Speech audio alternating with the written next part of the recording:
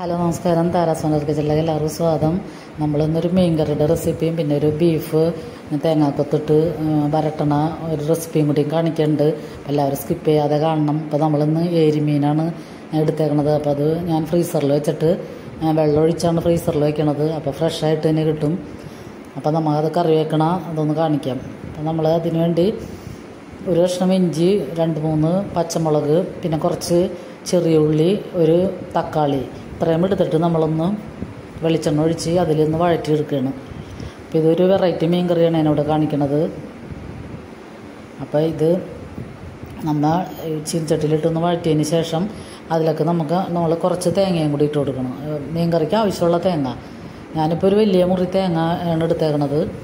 അപ്പോൾ അതും അതും കൂടി ഒന്ന് ഇട്ടിട്ട് നമ്മളൊന്ന് ഒന്നും കൂടി ഒന്ന് വഴറ്റിയെടുക്കാം. കൂടുതൽ നേരം ചൂ വഴറ്റേണ്ട ആവശ്യമില്ല. അതിന് ശേഷം നമുക്ക് അപ്പോൾ നമുക്ക് നന്നായിട്ട് തേങ്ങയും തേങ്ങയും കൂടി ഇട്ട് പിന്നെ നമുക്ക് രണ്ട് മൂന്ന് മൂന്ന് സ്പൂ ടീസ്പൂൺ മുളക് പൊടിയും അര ടീസ്പൂൺ മഞ്ഞൾപ്പൊടിയും കൂടി ചേർത്ത് നന്നായിട്ട് ഇതൊന്ന് വഴറ്റാം. കൂടുതലേരം വഴറ്റണ്ട രണ്ട് മിനിറ്റ് നേരം വഴറ്റിയാൽ മതി. അപ്പോൾ അതിന്റെ പച്ചച്ചവയൊക്കെ മാറിയതിന് ശേഷം നമുക്കിത് ചൂടാ ചൂടാറി കഴിഞ്ഞതിന് ശേഷം മിക്സിയിലിട്ടൊന്ന് അടിച്ചെടുക്കാം. ഇതിൽ മല്ലിപ്പൊടി ചേർക്കാനുള്ള മുളക് പൊടിയും മഞ്ഞൾപ്പൊടിയും മാത്രം ചേർക്കണുള്ളൂ ഞാൻ. അപ്പോൾ എന്നിട്ട് നമുക്കത് മിക്സിയിലിട്ട് നന്നായിട്ട് അടിച്ചെടുക്കാം. എന്നിട്ട് നമുക്ക് ആ അരപ്പ് അരപ്പ് നമ്മൾ മീൻ വെക്കാനുള്ള പാത്രത്തിലേക്ക് ഞാനിപ്പോൾ സ്റ്റീലിന്റെ ചീനച്ചട്ടിയാണ് എടുത്തേക്കണത് അപ്പോൾ അതിലൊക്കെ ഒഴിച്ചു കൊടുത്തിട്ട് നമ്മൾ ജാറ് മിക്സിയുടെ ജാറ് കഴുകിയ വെള്ളം കൂടി ഇതിലൊക്കെ ചേർത്ത് കൊടുക്കാം. അപ്പം നമ്മൾക്ക് എന്തോരം ഗ്രേവി ആവശ്യമുണ്ടോ അത്രയും വെള്ളം ചേർക്കണം. എന്നാലും ഒരു പാകത്തിന് മാത്രം ചേർത്താൽ മതി. കൂടുതൽ വെള്ളം ചേർത്ത് കഴിഞ്ഞാൽ ചാറിനൊരു കുഴപ്പമുണ്ടാവില്ല പിന്നെ നമുക്ക് എടുത്തു വെച്ചേക്കുന്ന കുടംപുളിയാണ് ഞാൻ എടു എടുത്തേക്കണത്. അപ്പോൾ കുടംപുളി വെള്ളത്തിലിട്ട് വെച്ചിട്ടുണ്ടായി. അപ്പോൾ കുടംപുളിയും കൂടി ചേർത്ത് കൊടുക്കാം. അപ്പോൾ ഇതിപ്പോൾ നമ്മൾ പച്ചമുളകും ഇഞ്ചിയും ചെറിയ ഉള്ളിയൊക്കെ കൂടി അടിച്ചെടുത്തേക്കണ അരണം അതൊക്കെ സെപ്പറേറ്റ് ആയിട്ട് കിടക്കില്ല അപ്പോൾ പിള്ളേർക്കൊക്കെ കൊടുക്കണമെങ്കിൽ ഇങ്ങനെ അടിച്ചു ചേർക്കുകയാണെങ്കിൽ ഇഞ്ചിയൊന്നും അവർ ഇഞ്ചിയും പച്ചമുളകൊന്നും അവർ എടുത്ത് മാറ്റില്ല. പിന്നെ ഇതിലേക്ക് ചെറിയ കഷ്ണം ഇഞ്ചിയും രണ്ട് അല്ലെങ്കിൽ മൂന്ന് പച്ചമുളക് മാത്രം ചേർക്കാൻ പാടുള്ളൂ. അല്ലെങ്കിൽ ഇഞ്ചിയുടെയൊക്കെ നല്ല കുത്തുണ്ടാവും. അപ്പോൾ നമുക്ക് അതിലേക്ക് കുറച്ച് കറിവേപ്പിലയും കൂടി ചേർത്തിട്ട് കുറച്ച് പച്ച വെളിച്ചെണ്ണയും കൂടി ഞാൻ ഒഴിക്കുന്നുണ്ട്. അത് ആ വീഡിയോ മിക്സ് മിസ്സായിപ്പോയി അപ്പോൾ അതും കൂടി ചേർത്തതിന് ശേഷം നമുക്ക് അടുപ്പത്ത് വെച്ച് ഹൈ ഫ്ലെയിമിലിട്ട് ഒരു അഞ്ച് മിനിറ്റ് നേരം ഫ്ലെയിം ഓൺ ചെയ്യാം. നന്നായിട്ട് തിളച്ചതിന് ശേഷമാണ് നമ്മൾ മീനിട്ട് കൊടുക്കുന്നത്. അപ്പോൾ നമ്മുടെ ചാറൊക്കെ ഇവിടെ നന്നായിട്ട് തിളച്ചിട്ടുണ്ട്. അപ്പോൾ അതിലൊക്കെ നമ്മൾ ഏരി മീനാണ് കിട്ടിയേക്കണത്. അപ്പോൾ അത് നമ്മൾക്ക് ഇതിലേക്ക് ഇട്ട് കൊടുക്കാം. അപ്പം ഞാനിപ്പോൾ ഒരുവിധം ചാറാക്കിയാണ് എടുത്തേക്കണത്. ലഞ്ചിന് കൂട്ടാൻ പാകത്തിന്. ഇപ്പം ഇത്രയും ചാറ് വേ വേണ്ടെങ്കിൽ ഇത്തിരി വെള്ളം കുറച്ച് ചേർത്താൽ മതി. അപ്പം ഇങ്ങനെ ഒരു വെറൈറ്റി മീൻ കറിയാണിത് ഇപ്പോൾ എല്ലാവരും ഒന്ന് ട്രൈ ചെയ്ത് നോക്കണം. ഇത് അടിപൊളി കറിയാണ്. പിന്നെ കുടംപുള്ളി ഇട്ടേക്കണ കാരണം ഒരു പ്രത്യേക ടേസ്റ്റും ഉണ്ട്. പിന്നെ നമ്മൾ മീനിട്ടതിന് ശേഷം അതിന്റെ വേവ് അനുസരിച്ച് നമുക്ക് ഫ്ലെയിം ഓഫ് ചെയ്യാം. പിന്നെ നമുക്ക് അതിലേക്ക് ചെറിയ ഉള്ളിയും വേപ്പിലയും കൂടിയും മൂപ്പിച്ചിടാം. നമ്മുടെ മീൻകറി ഇവിടെ റെഡി ആയിട്ടുണ്ട്. അപ്പോൾ നമ്മൾ സെപ്പറേറ്റ് മൊരിച്ച് സവാളയൊന്നും മൊരിച്ചിട്ട് ഇടണ്ട മൂപ്പിച്ചിടേണ്ട ആവശ്യമില്ല. നമ്മൾ വെളിച്ചെണ്ണയിലേക്ക് ചെറിയ ഉള്ളിയും വേപ്പിലയും കൂടി ഇട്ടിട്ടൊന്ന് മൂപ്പിച്ച് കറിയിലേക്ക് ചേർത്ത് കൊടുക്കാം.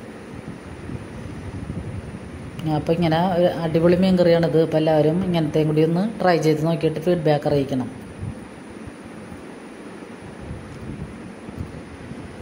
പിന്നെ ലൈക്ക് ചെയ്യാനും സബ്സ്ക്രൈബ് ചെയ്യാനൊന്നും ആരും മറക്കരുത്. പിന്നെ നിങ്ങളുടെ വാല്യുബിൾ കമന്റ് എപ്പോഴും ഞാൻ പ്രതീക്ഷിക്കുന്നു. നമ്മൾക്ക് ഉള്ളിയുടെ കൂട്ട് കറിയിലൊക്കെ ചേർത്ത് കൊടുക്കാം. എന്നിട്ട് അഞ്ച് മിനിറ്റ് വരെ മടച്ചു വെച്ചതിന് ശേഷമാണ് നമ്മൾ ഇത് ഉപയോഗിക്കാൻ പാടുള്ളൂ. എന്നാലാണ് ആ ഉള്ളിയുടെയൊക്കെ നല്ല മണം കറിയിലൊക്കെ പിടിക്കുകയുള്ളൂ. അപ്പോൾ അതേ നമ്മുടെ അടിപൊളി മീൻ കറി ഇട്ട് ഇവിടെ റെഡിയാണ്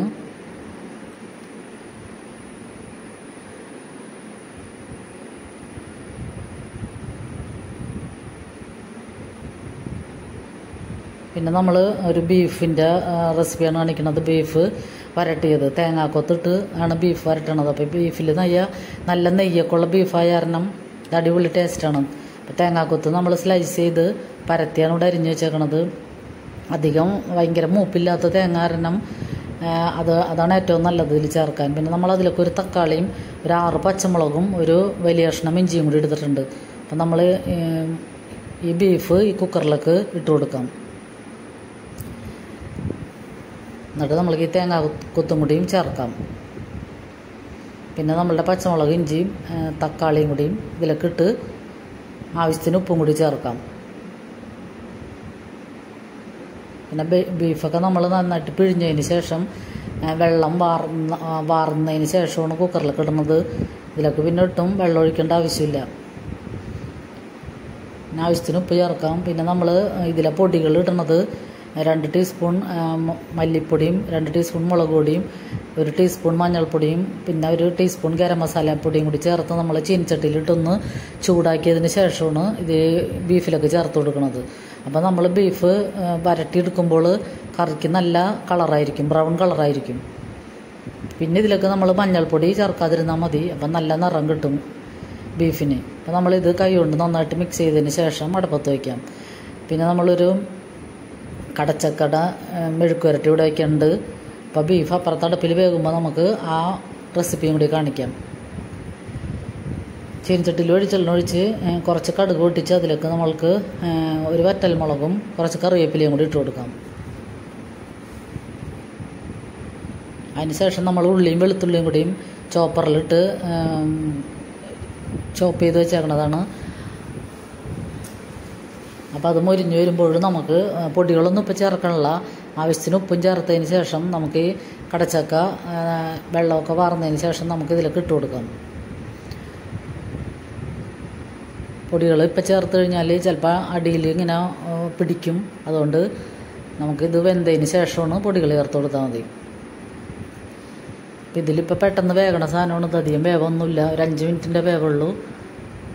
അപ്പം നമ്മുടെ ഇവിടെ കടച്ചക്ക മെഴുക്കുവരട്ടി ഇവിടെ റെഡിയാണ് അപ്പം അതിലൊക്കെ നമ്മളൊരു അര ടീസ്പൂൺ മഞ്ഞൾപ്പൊടിയും അര ടീസ്പൂൺ കുരുമുളക് പൊടിയാണ് ചേർത്ത് കൊടുക്കുന്നത്. അപ്പം അതൊന്ന് നന്നായിട്ട് മിക്സ് ചെയ്യാം. അപ്പം ഇത് ഞാൻ ഇന്നലെ രണ്ട് ദിവസം ഓരോ- ദിവസങ്ങളിൽ ഉണ്ടാക്കിയ റെസിപ്പീസാണ് അതാണ് ഞാൻ ഒന്നിച്ച് ഇപ്പോൾ ഇടാന്ന് വെച്ചത്. ഒറ്റ ദിവസം ഇട്ടാൽ അത് എല്ലാവരും കാണുകയും ചെയ്യാമല്ലോ അതുകൊണ്ടാണ് ഞാൻ അങ്ങനെ ഇട്ടത്. അപ്പോൾ നമ്മുടെ കടച്ചക്ക മെഴുക്ക് വരട്ടി ഇവിടെ റെഡിയാണ് അപ്പോൾ ലാസ്റ്റ് നമുക്ക് ഇത്തിരി പച്ച വെളിച്ചെണ്ണ ഒഴിച്ച് രണ്ട് മൂന്ന് കറിവേപ്പില കൂടി ഇട്ടതിന് ശേഷം നമുക്ക് മൂടി വയ്ക്കാം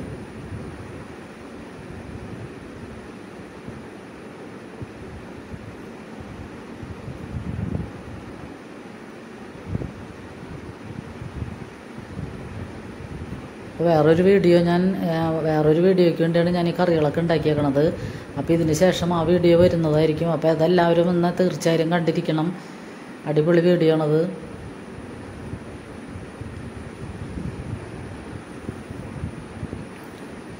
നമ്മുടെ കടച്ചക്ക മെഴുക്കുരട്ടിയും റെഡിയാണ്. ഇനി നമുക്ക് ബീഫ് വരട്ടി വരട്ടുന്നത് എങ്ങനെയാണെന്ന് നോക്കാം.